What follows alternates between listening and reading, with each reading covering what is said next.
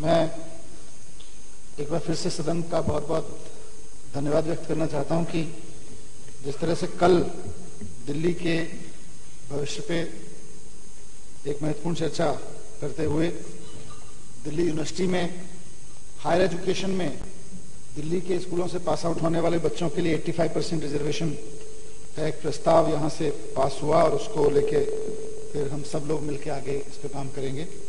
उसी तरह की महत्वपूर्ण चर्चा आज यहाँ पे कई साथियों ने बहुत अच्छे अच्छे पॉइंट्स उठा के की है, क्योंकि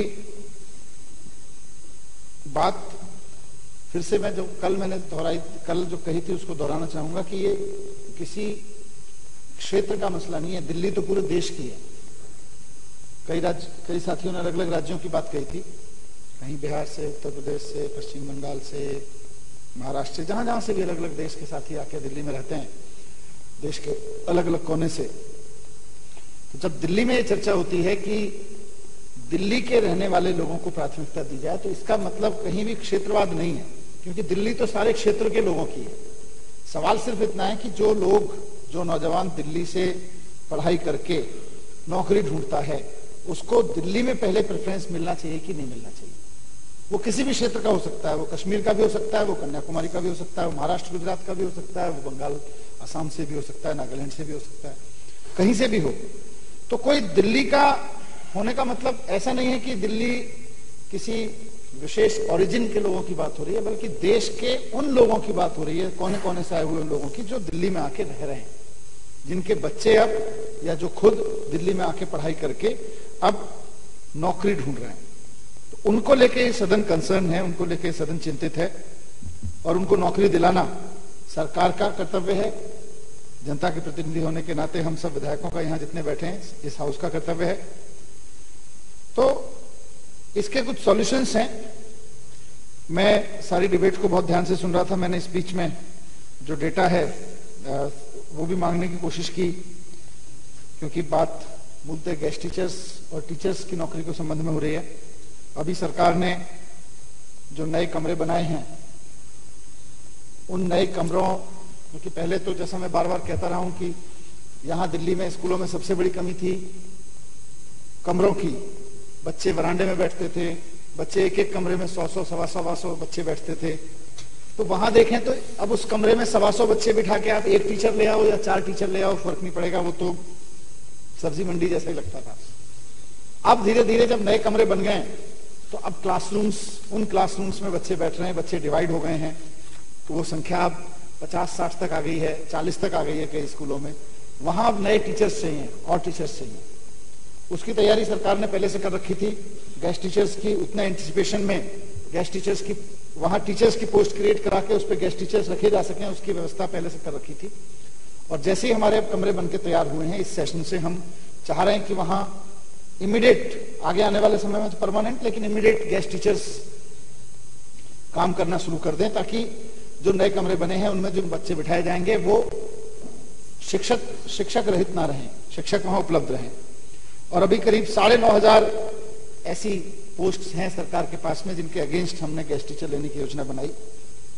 उनमें से टीजीटी की जो एप्लीकेशन आई हैं वो सड़सठ हज़ार एप्लीकेशन आई हैं सड़सठ हज़ार। और पीजीटी के लिए तिहत्तर हज़ार आई हैं सड़सठ हज़ार तीन सौ पाँच है और अभी जो लेटेस्ट वो है पीजीटी के लिए तिहत्तर हज़ार आठ सौ सत्तर है।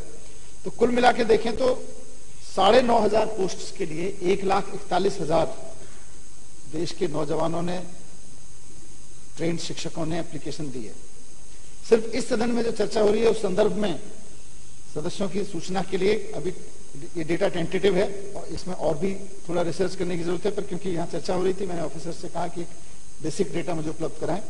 तो एक लाख इकतालीस हज़ार एक सौ पचहत्तर एप्लीकेशन आई हैं। टीजीटी की सड़सठ हज़ार करीब। टीजीटी के लिए जितनी सड़सठ हज़ार एप्लीकेशन आई हैं, उनमें से इकतीस हज़ार एप्लीकेशन दिल्ली के ग्रेजुएट बच्चों की हैं। और पीजीटी के लिए जो तिहत्तर हज़ार आठ सौ एप्लीकेशन आई हैं उनमें से क्योंकि उसमें पीजीटी का पोस्ट ग्रेजुएशन का क्राइटेरिया होता है पीजीटी में तो उन्होंने जो पीजीटी की है पोस्ट ग्रेजुएशन डिग्री जो है तिहत्तर हज़ार में से तिहत्तर हज़ार आठ सौ में से दो हज़ार चार सौ पिचानवे मतलब ढाई हज़ार के करीब दिल्ली के हैं। दिल्ली से पीजी करने वाले हैं। ये सिर्फ़ एक टेंटेटिव इंडिकेटिव डेटा है जिससे हमें इस चर्चा में थोड़ा सा और आ, समझने का मौका भी मिलेगा कि स्थिति क्या है, कहाँ है? कुछ लोगों ने और मेरे साथियों ने बातें रखी थी। सरिता जी ने एक पॉइंट रखा कि जो लड़कियाँ दिल्ली किसी परिवार में शादी होकर आती हैं, वो कहीं और से भी अगर बीएड हैं या ग्रेजुएट हैं, लेकिन शादी होकर दिल्ली में आई हैं, उनको किस रूप में कंसीडर किया जा सकता है? ये भी एक पहलू है। क्वालिटी ऑफ़ टीचर्स लगभग लगभग सभी साथियों ने बात कही, बहुत इंपॉर्टेंट है। सिरसा जी चले गए। विजेंद्र जी से प्रेरित रहते हैं। जो मुद्दा उठाते हैं, उसके बाद उनको हाँ उनको उम्मीद है, जगदीश जी उन तक कन्वे कर देंगे कि उन्होंने मुद्दा उठाया। पहले सरकार सत्रह हज़ार पे तो बात करे। जो सत्रह हज़ार गेस्ट टीचर्स काम कर रहे हैं, उनको परमानेंट करने पे। तो मैं कहना चाहता हूँ जी, सरकार ने तो पूरा प्रस्ताव तैयार करके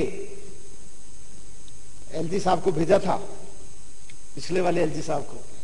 और पिछले वाले एलजी साहब ने थोड़ा अड़ियल रूप अपना के उसको रिजेक्ट भी करके भेजा।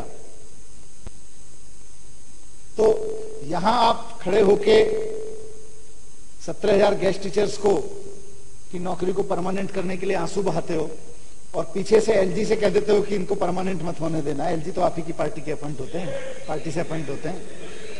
तो नए वाले के लिए कर लीजिए। चलो, पिछले वाले के, हो सकता है पिछले वाले एलजी साहब की कोई प्रॉब्लम रही हो। तो अब तो नए एलजी साहब आ गए। नए एलजी साहब से करवा दीजिए। आप बताइएगा उनको कि भाई सत्रह हज़ार के लिए यहाँ विधानसभा में आँसू बहाने से काम नहीं चलेगा। चल के एलजी साहब से करवाइए भी इसको। सरकार दोबारा भेज देगी। आप बात तो करवाइए। तो जब, लेकिन कल भी यही हुआ। बात फिर वहीं आ जाती है कि इस देश में जो अभी राष्ट्र का निज़ाम है, वो ऐसे लोगों के हाथ में है, जो ना तो नौजवानों को नौकरी दे पा रहे। वो पंद्रह लाख और जो सब आप कई सदस्यों, साथियों ने उठाया, वो सब तो जुमले खुद ही कह दिया जुमले हैं।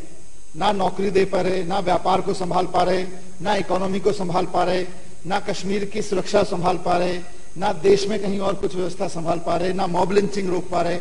लेकिन जब भी कहीं इन मुद्दों पर चर्चा हो आप बस अनर्गल प्रलाप करना शुरू कर दो, अनर्गल। आज भी यही हुआ। आज जब यह विधानसभा बहुत गंभीरता से चर्चा कर रही है, आप तो नौकरी दे नहीं पा रहे। ये विधानसभा इसका सॉल्यूशन निकालने की कोशिश कर रही है कि दिल्ली के पढ़े लिखे लड़के लड़कियों को अपकमिंग जॉब्स में कैसे प्राथमिकता देके नौकरियाँ दी जाएँ ताकि दिल्ली के लड़के लड़कियों को नौकरी मिल सके, दिल्ली के बच्चों को नौकरियाँ मिल सकें। तो आप फिर दुनिया भर के मुद्दों को उठा के ले आए। आपके रटे रटाए कुछ जुमले हैं। उनका किसी से लेना एक ना देना दो। उनको फिर ले आते हैं। बोले 85 परसेंट आप यूनिवर्सिटीज, कल कल का चीज़ ले आए।